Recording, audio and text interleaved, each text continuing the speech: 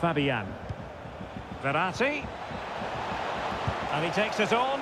A routine save.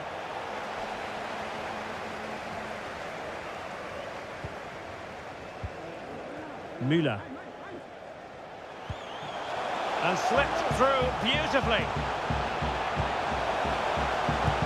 Oh, can you believe what we've just seen? I think we're going to be viewing